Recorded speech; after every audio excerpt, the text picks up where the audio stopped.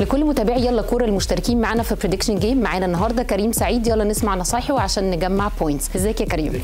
خلاص دور الثمانيه دخل والشغل اللي بجد دخل والفرق الكبيرة هي اللي موجودة. معانا النهارده مباراة الأرجنتين وهولندا وأكيد مباراة آه، ربما يكون ميسي عامل زخم كتير قوي قوي قوي في المونديال ده بحكم إن هو الناس كتير بتتمنى إن ميسي يعني قبل ما ينهي مشواره مع كرة القدم خصوصا كمان لأن هو أكيد هيعتزل دوليا بعد نهاية المونديال. ده. فالناس حاسة إن الأرجنتين ربما تقدر تحقق اللقب عشان آه، خاطر ميسي. يعني.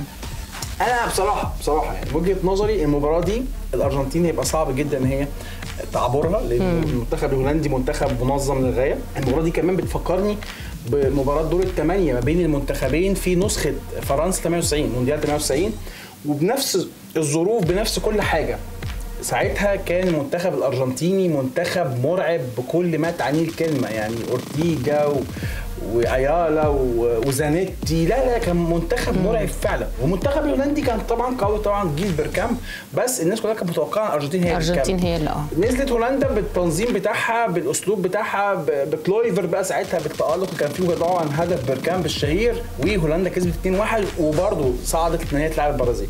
فانا أنا بصراحة وأنا بلعب ال prediction game أنا المباراة دي أنا متوقع إن هولندا هي اللي تتأهل وهنشوف برضه semi final مشابه لنسخة 98 ما بين هولندا والبرازيل. ده توقعي الشخصي لأني شايف الأرجنتين عندها مشاكل في خط الوسط عندها مشاكل في خط الدفاع. ميسي ولوتارو والقوة الهجومية وحتى مع عودة دي ماريا قوة الأرجنتين الهجوميه ممكن ما تسعفهاش في مباراة قدام فريق متماسك دفاعيا. زي هولندا، آه. طبعا على فان دايك وناثان آكي وتمبر الثلاثه عاملين مستوى رائع جدا في الدفاع الهولندي. ففي وجهة نظري وجهة نظري الشخصية أشوف إن هولندا هي الديفولت يعني المباراة أنا شايف إن حتى المباراة بالنسبة لي مش 50 50 بصراحة. المباراة بالنسبة لي 65 هولندا 35 الأرجنتين. وده طبعا إن حتى حاجة ممكن الناس تعتبرها آه يعني مجازفه برضو شوية. آه يعني. لا أنا بشوف إن هولندا هي ال- ال- الأقرب لأن خط وسطها وخط دفاعها أقوى من الخطين دول عند المنتخب الأرجنتيني. يبقى الإجابة هولندا.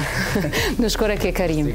لو لسه ما اشتركتوش معانا في ال prediction game تقدروا تدخلوا على يلا كورة تعملوا subscribe تجمعوا نقط وتكسبوا. جايزة المركز الأول PS 5 والمركز الثاني والثالث موبايل.